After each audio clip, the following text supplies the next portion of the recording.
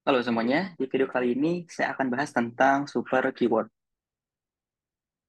Jadi super keyword itu biasa digunakan untuk mengakses properties atau metode yang berada di kelas parent-nya, teman-teman.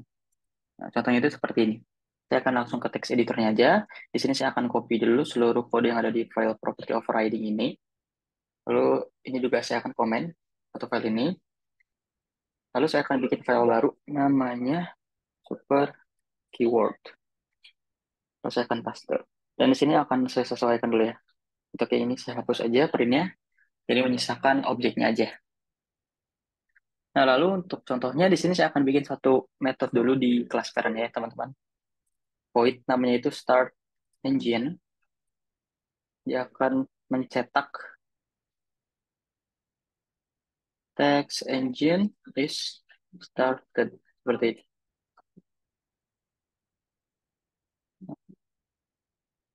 Untuk contoh dari keyword supernya, di sini saya mau nanti kelas motor ini dia akan menjalankan sebuah fungsi route.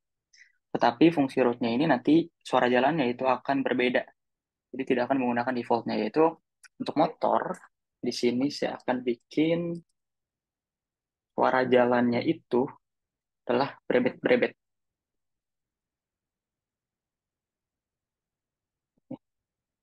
Lalu ini saya kasih anotasi override ya.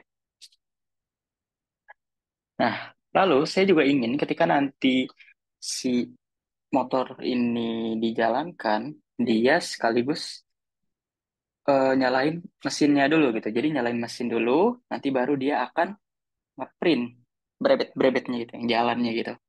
Nah, gimana caranya biar saya bisa akses function yang ada di kelas parentnya ini atau vehicle-nya ini? Caranya itu pakai si keyword super tadi. Jadi untuk mengaksesnya teman-teman tinggal panggil aja super dot nanti teman-teman bisa panggil properti properti atau metode yang mau teman-teman tampilkan. Di sini saya akan start engine ya tadi. Save. Nah, jadi nanti ketika saya coba print nih atau saya coba test run di sini my motor di sini saya jalankan route-nya. Maka di sini teman-teman bisa lihat. Saya coba tesan dulu. Nah, dia mengeluarkan output, engine is started, dan brebet, brebet, brebet. Ya. Nah, jadi, kurang lebih itu untuk penggunaan keyword super. Jadi, teman-teman bisa panggil semua uh, seperti metode atau properti yang ada di kelas parent menggunakan keyword super ini, teman-teman. Seperti itu. Oke, mungkin segitu aja untuk video kali ini. Sampai berjumpa di video yang lainnya.